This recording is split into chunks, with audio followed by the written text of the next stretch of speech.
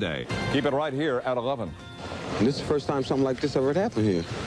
An elderly woman found unconscious, the victim of what is thought to be a brutal attack, then an unstoppable fire, smoke filling the sky for miles, a massive tire fire that may burn for days.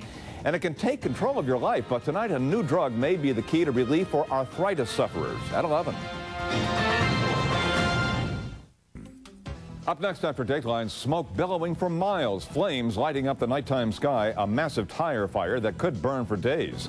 And the possible victim of assault, an elderly woman found unconscious in her home. And can Viagra work for women? The news is next. A standoff with police erupts in flames tonight. We'll have the latest on this explosive situation. Another White House intern in trouble tonight, accused of stalking a former top White House aide. And there he goes again, millionaire adventurer Steve Fossett launching another journey to circle the globe. It's 11 p.m. and you're watching KCRA TV, where the news comes first. This is Channel 3 Reports.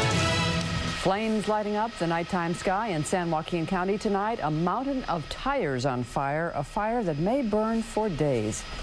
Good evening, I'm Lois.